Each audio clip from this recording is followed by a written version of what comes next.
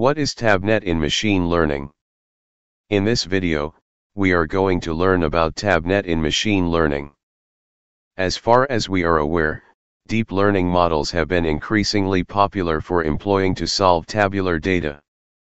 Due to the relevance and effectiveness of the features, they have chosen XG. Researchers from Google Cloud made the TabNet proposal in 2019.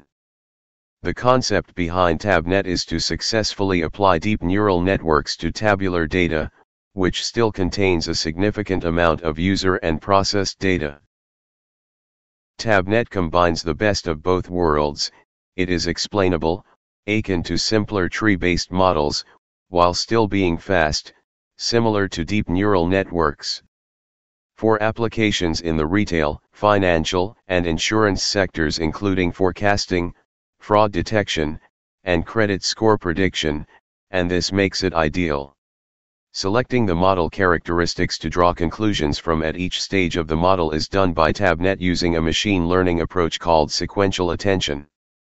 By using this approach, the model can learn more precise models and can explain how it generates its prediction. In addition to outperforming other neural networks and decision trees, TabNet's architecture also offers feature attributions that are easy to understand. Deep learning for tabular data is made possible by TabNet, which offers great performance and interpretability. Role of the encoder. The design, therefore, consists mostly of several consecutive stages that transmit inputs from one step to another. The report also includes some tips on how to choose the number of stages.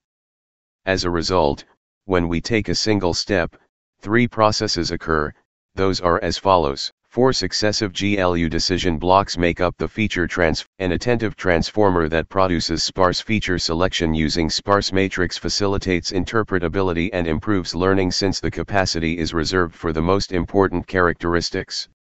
The mask, together with the transformer, is used to output the decision-making parameters, n, d, and n, a, which are then passed on to the final phase.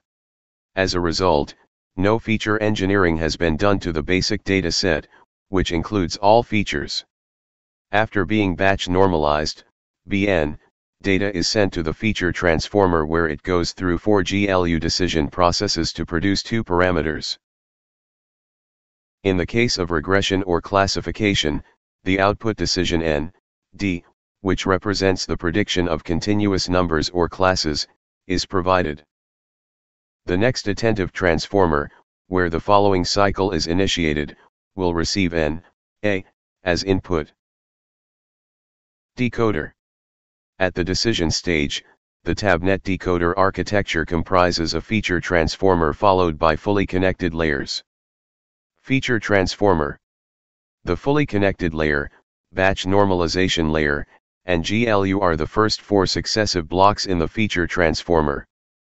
GLU stands for the gated linear unit, which is basically the sigmoid of x multiplied by x, GLU equals sigma, x, consequently, they are made up of two shared choice processes, followed by two autonomous decision phases.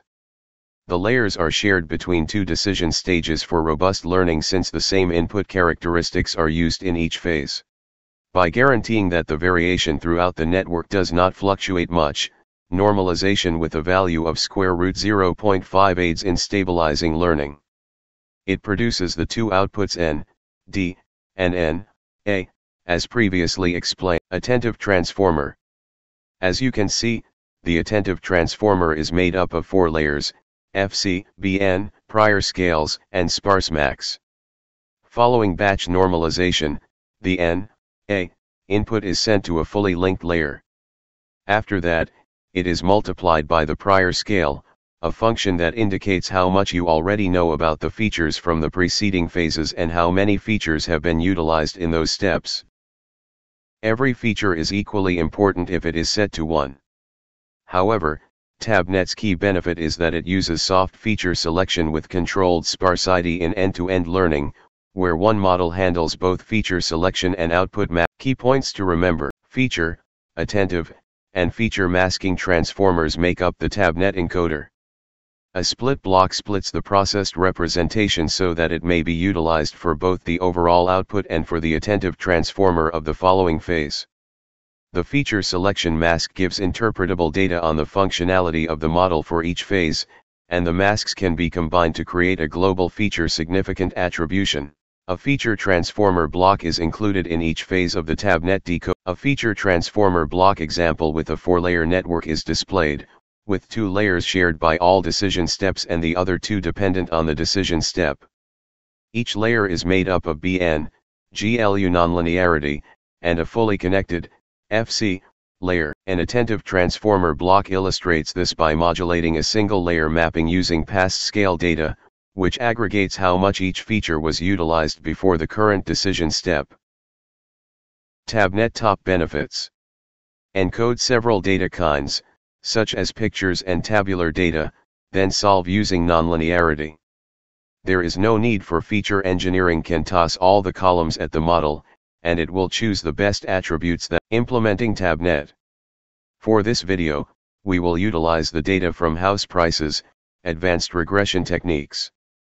In this example, I do not conduct any feature engineering or data cleaning, such as outlier removal, and instead, use the most basic imputation to account for any missing values.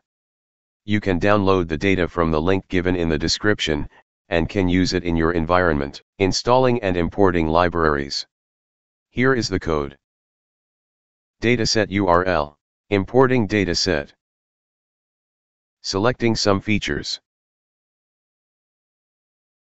Splitting dataset. Filling missing data. Any missing data will be filled up with a simple mean value. Concerning the relative benefits of doing this before utilizing cross-validation. Converting data to NumPy. Applying k-fold validation. Output, calculating average CV score. Output. Conclusion.